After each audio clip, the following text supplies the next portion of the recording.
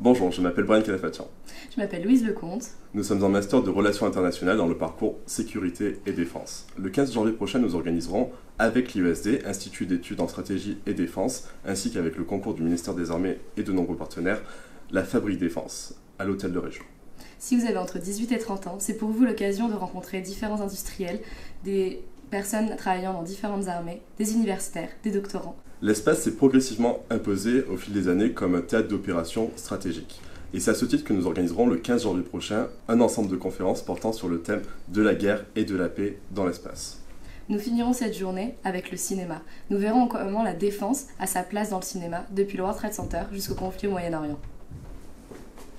Bonjour, je m'appelle Guéret, je suis en Master 1 de Relations internationales et je vais vous présenter les 5 tables rondes de la journée. La première portera sur le terrorisme, la seconde sur les renseignements, la troisième et la quatrième sera présentée par le cluster Eden et portera sur le décryptage de la série Mister Robot euh, et la quatrième sur l'industrie et l'innovation.